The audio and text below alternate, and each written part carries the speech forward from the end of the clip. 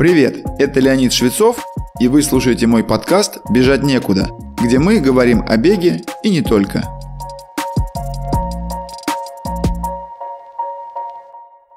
Всем известно, что хороший ночной сон является залогом бодрого состояния и хорошего настроения с самого утра. В спорте, как в области деятельности с наиболее высокими требованиями к организму, сон приобретает еще более важное значение. Об этом свидетельствуют многочисленные научные исследования, в том числе проводившиеся в последние годы. И наоборот, дефицит сна или его плохое качество, например, прерывание по какой-либо причине, выливается в пониженную работоспособность. Однако однократный недосып, как еще называют укороченный по сравнению с привычным или достаточным сном, не всегда приводит к ощутимым негативным последствиям. В моей карьере был один случай, подтверждающий это. Дело было накануне марафона на Олимпиаде 2004 года в Афинах. Ничего не предвещало негативных моментов. Мы легли спать накануне старта в привычное время, после чего мой сосед по комнате, марафонец из Уфы Григорий Андреев, заснул, а ко мне сон никак не приходил. Я не испытывал какого-то необычного волнения, не смотрел телевизор перед сном. Тем не менее, я так и не заснул в течение всей ночи. Точнее, заснул, когда за окном небо начинало светать. Понятно, что это не могло радовать, но удивляло еще больше. Я был уже опытным спортсменом, к тому же это не была моя первая Олимпиада. Благо марафон стартовал в 6 вечера, и у меня была возможность поспать днем, тем более, что афинская жара не способствовала бодрствованию в середине дня. В итоге, ко времени отъезда на старт я был бодрым и в отличном состоянии. Рассказал об этом эпизоде подробно, потому что это будет иметь отношение к дальнейшему рассказу. Полноценный сон крайне важен для спортивной работоспособности, причем необходимы как достаточная продолжительность, так и глубина сна. Это связано с тем, что именно во время фазы глубокого сна вырабатывается около 95% гормона роста.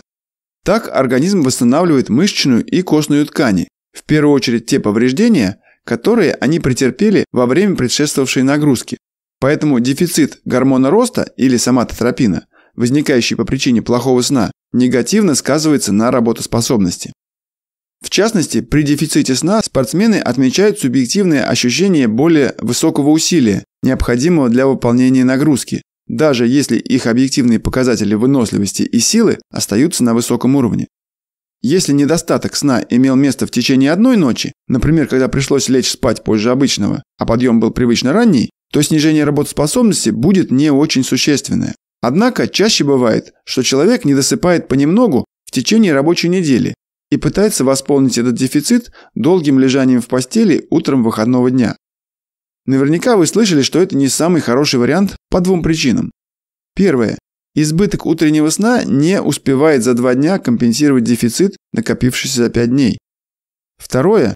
Более долгое лежание в постели в выходные нарушает сложившийся стереотип отхода ко сну и пробуждения за время рабочей недели. Если же принять во внимание, что основное восстановление имеет место за счет соматотропина, который вырабатывается в первой половине ночи, то отсыпание на выходных не компенсирует дефицит восстановления в течение недели. Исследования показали, что дополнительные полтора часа утреннего сна дают эффект полного восстановления силы, выносливости и быстроты мозговых функций только после 4-5 дней. Этот эффект сохраняется в течение почти недели после такого периода, даже если вы вернетесь к дефициту ночного сна. Результаты этого исследования подтверждают правильность рекомендаций, которым я следовал сам и теперь даю своим ученикам. Они заключаются в том, чтобы ложиться спать не позже 23 часов, а при необходимости раннего подъема, например, в 5 утра, желательно ложиться спать еще раньше. Второе – это то, что перед важным соревнованием Необходимо не просто выспаться в последнюю ночь или две, а в буквальном смысле накопить так называемую наспанность в течение всей предшествующей недели. В этом случае, даже если не получится хорошо поспать в ночь перед стартом, вы будете способны показать хорошую физическую работоспособность.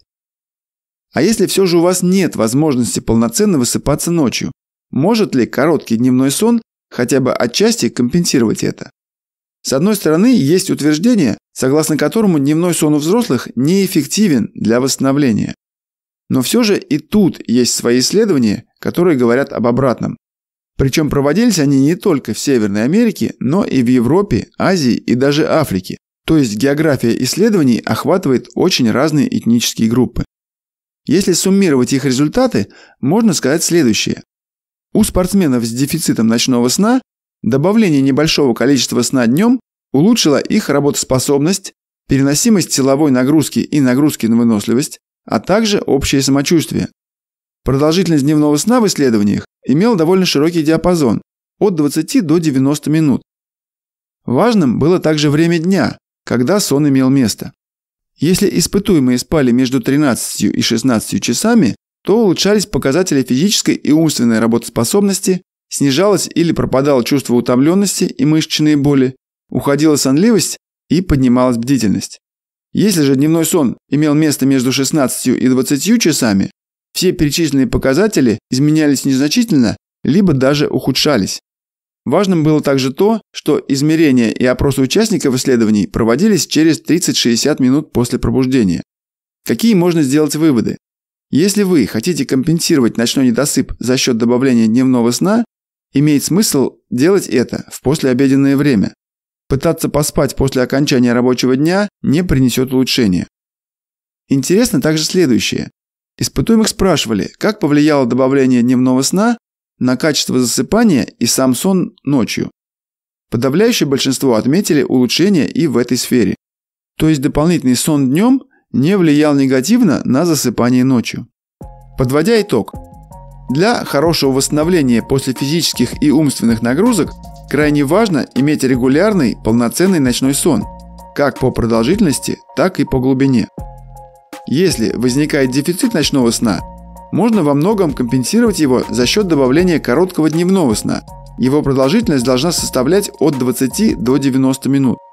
Дневной сон должен иметь место между 13 и 16 часами. Если такой возможности нет, лучше пропустить его и поспать на следующий день в нужное время – так как сон после 16 часов может снизить вашу работоспособность.